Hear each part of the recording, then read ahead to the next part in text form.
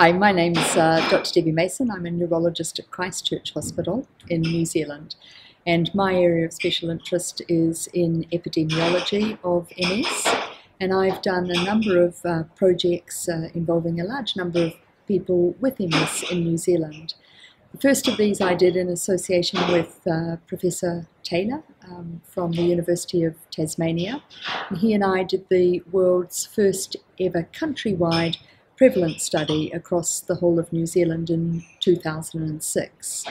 As part of that study, we managed to contact about 3,000 patients uh, living in the country at the time with MS, and we were able to get a large number of very valuable data from them about the demographics of where they were from and about the um, disability that they experienced as well as the socio-economic effects of living with MS.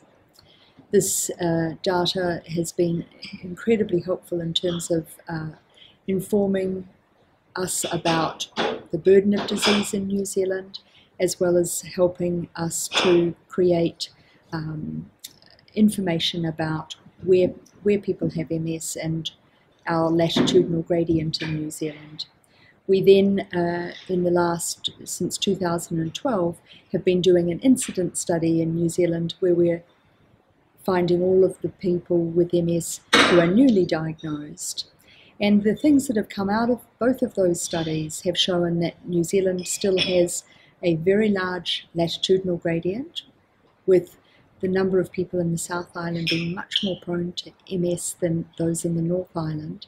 And one of the very interesting things that we've uh, shown is that since the 1980s, when the studies were first done, that the incidence in places like Hamilton and the North Island haven't changed terribly much, but that they have doubled in the South Island.